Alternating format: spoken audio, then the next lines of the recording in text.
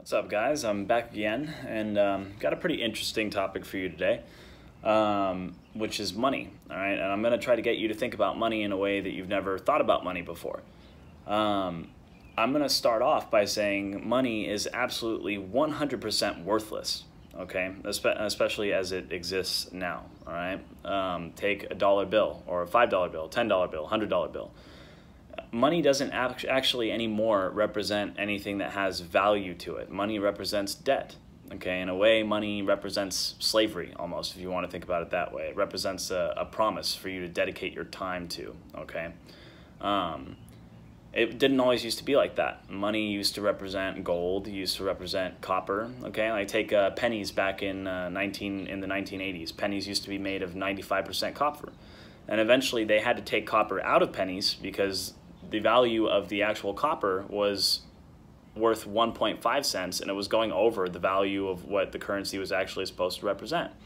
So they, they've changed that too. Not only are our dollar bills not backed by gold anymore, but our pennies aren't even made with um, you know real copper. I mean, they're made mostly of zinc and they're made with about 5% copper. Um, so everything you have in the in in the way of money is really worthless. It's not actually worth anything. They went so far as to take the copper out of the pennies, right? And, you know, I mean, why even bother? Copper's worth something. You know, you use it for your electronics, your wiring, whatever, and they're trying to do the same thing all around the board with all forms of currency. Um, they're trying to make the currency worthless. The only thing that that currency represents is an idea. The only thing that makes it worth anything is its perceived value. But perceived value is not always actual value, right? Things that have actual value are things like a home or things like uh, a car or uh, food, you know, a tree that provides the food or chickens that provide the eggs or you know the land that cows can graze on the cows that provide steaks and you know and milk and you know things like that you know stuff that um, that you can stuff that your just survival actually depends on all right and that's the danger that we're facing with money right now. It's a real problem because it gives people a false sense of security.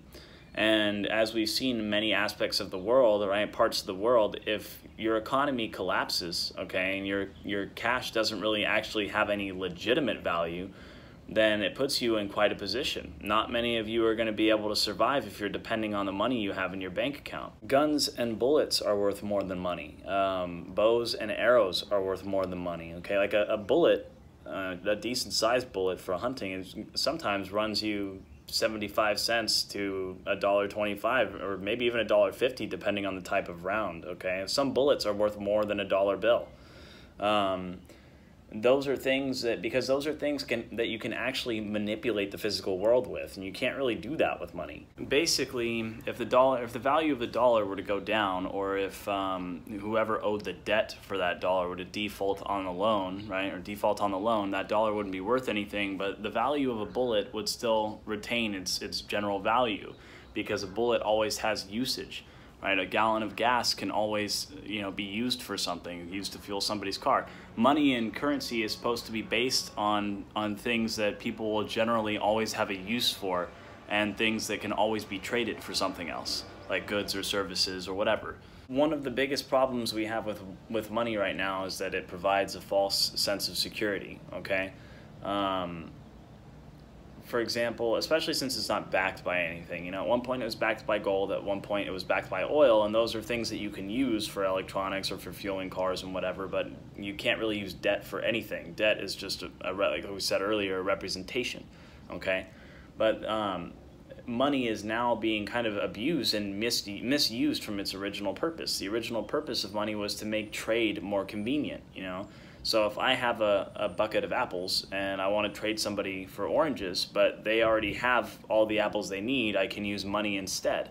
And so on and so forth. If they need to trade for something um, and whoever they need to trade with doesn't need any oranges, then they could trade the money, right? So that's what money is supposed to be for. And now money is used for everything, and that's not good, especially. Um, especially you know the way that taxes are set up okay that you're you're never really off the hamster wheel it's like they're trying to make you need money you know even if you have a property or a house that's all paid off and you're self-sufficient, you have solar, you have your own water, you have your own food or whatever, they're still going to try to charge you property tax because they still want to keep you in the game somehow. That's what that's all about.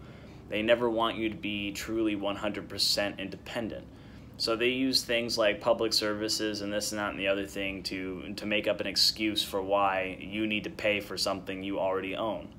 And we'll get into that in another video. We'll get into taxes in another video, but um, long story short, you know, money is starting to become a real problem, and we need to figure out how we're going to make our way around this, especially with the advancement of technology and um, the idea that you know humans over the next probably 10 to 15 years are going to have to work less and less and less. Yet we still have this system that requires more and more and more. Um, so just food for thought for you guys. You know, next time you look at a dollar bill, you know, like, look at it for what it is. It's just a piece of paper. The only thing that gives it that value is, um, like I said, the perceived value. And perceived value can be um, very deceptive, right? And we're not the ones who created this perceived value. It's, it's somebody up here who's trying to screw with the rest of us, who is trying to corral everybody with this idea that money is God and that you need money to survive, and you don't. It's really it's that system that needs you to survive. And until we start trying to reverse things and, and make our way out of it, okay, nothing is ever really going to get any better. If we're going to hold on to this money system, then we're going to have to change our money back to representing an actual physical item, right? So that it can be traded for other physical items, right? It's not uh, it's not money that builds a house. All right, materials build a house. Wood builds a house. Uh, metals, okay. Uh, hammers and nails, tools, okay. Those are all things that are actually worth something, okay. Money, um, you know, that represents an actual material good can be used to trade for another material good, okay. Um, but the idea of money existing as debt is going to get us in a lot of trouble. It already has gotten us in a lot of trouble. Um, so that's it for today. Uh, well, not for today. I'm probably going to make a couple more videos because I need to start knocking them out here. Um, but that is my take on money and um, and what it's really worth and the problems that it's causing.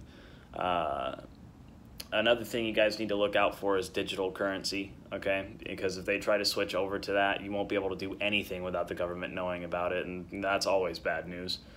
Um, but anyway, uh, you know, look up another if you uh, like this video. Uh, I got plenty more coming, uh, more on topics like this, trying to, you know, open up your mind get you to think about things a different way and to try and get you to look at things as they are and not as somebody else wants you to see them, okay?